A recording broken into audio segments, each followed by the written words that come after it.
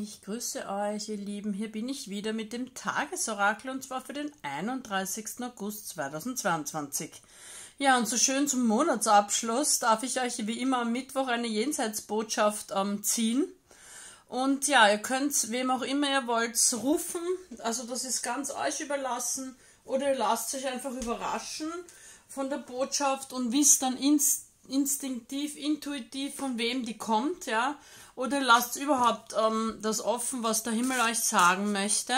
Aber die meisten wollen doch von jemandem bestimmten eine Botschaft haben, den sie zu Lebzeiten ja gut gekannt haben, geliebt haben, befreundet waren, Familie, alles, ja, wie auch immer. Und dann schauen wir mal, was da jetzt für eine Botschaft kommt. Ich warte wieder, ob eine springt oder ob ich eine umdrehen darf.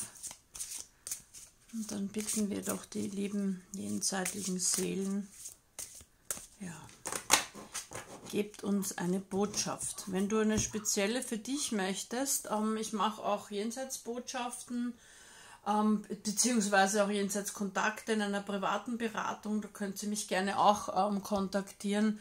Unten unter dem Video sind meine Kontaktadressen. So, oh, was für eine schöne Botschaft wieder. Wir haben uns im Traum getroffen.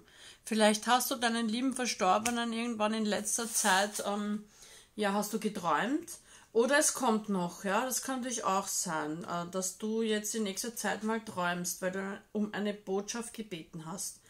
Wenn du träumst, kann ich viel leichter mit dir in Kontakt treten. Daher hast du mich auch gesehen und meine Gegenwart gespürt, während du schliefst. Mitunter kannst du dich vollständig an unsere Traumbegegnungen erinnern, doch manchmal spürst du einfach nur, dass wir zusammen waren, ohne dich genau zu erinnern.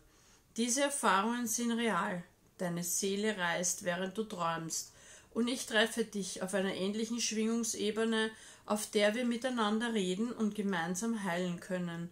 Diese Traumbegegnungen machen mich genauso glücklich wie dich.